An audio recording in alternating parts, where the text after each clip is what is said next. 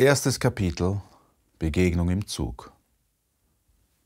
Ist Ihnen nicht gut? fragte der Schaffner. Ernst Katz sah zu ihm hoch. Dieser Schmierfink wird Clara nicht bekleckern. Nein, das wird er bestimmt nicht, sagte der Schaffner, entwertete das Ticket, gab es Ernst Katz zurück und setzte seinen Gang durch den Waggon fort.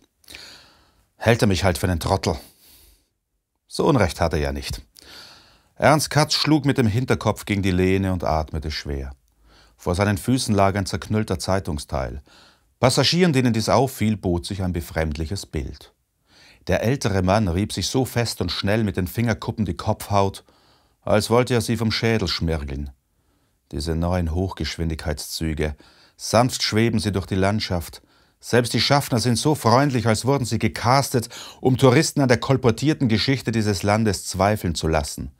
Früher, da ratterten die Garnituren in monotonem Rhythmus, da konnte man sich noch vor den Mitreisenden, vor den eigenen Sorgen in beruhigenden Steadybeat flüchten.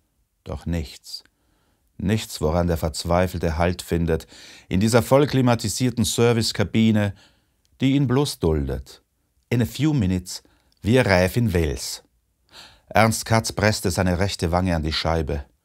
Stupide starrte er die vorbeischwebenden Eigenheime des Traunviertels an, nicht minder stumpfsinnig glotzten sie zurück. Es darf einfach nicht wahr sein. Eines dieser Baumarktbarocken Spukschlösser, also hat den jungen Autor in die Welt gespuckt, der sich nun 60 Jahre später an den Gedemütigten vergreift. Warum gerade Clara? Hast du nicht genug Nazifilme gesehen, um dir fiktive Juden zu basteln? Ernst Katz Hände ballten sich wieder. Und wenn das das Letzte ist, was ich tue, ich werde dich daran hindern, das schwöre ich. Er griff nach dem Zeitungsknäuel und versuchte, die Falten zu glätten. Er hatte es nicht geträumt. Noch immer stand dort Erfolgsautor schreibt KZ-Roman. Der vielprämierte oberösterreichische Schriftsteller René Mackensen versucht sich an einem heiklen Sujet, der Holocaust-Prosa. In seinem nächsten Roman will er das Schicksal der jüdischen Psychologin Clara Sonnenschein aufarbeiten, die ihre Jugend in Mauthausen verbringen musste.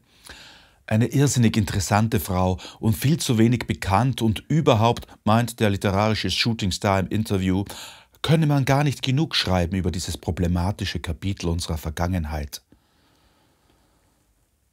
Wer den Mann hier im Waggon beobachtete, konnte schwer entscheiden, ob die Verzerrung seines Gesichts von Schmerz oder Spott herrührte.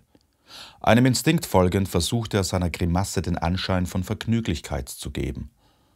Holocaust-Prosa, murmelte er. Der Boulevard bezeichnet schon ein eigenes Genre damit.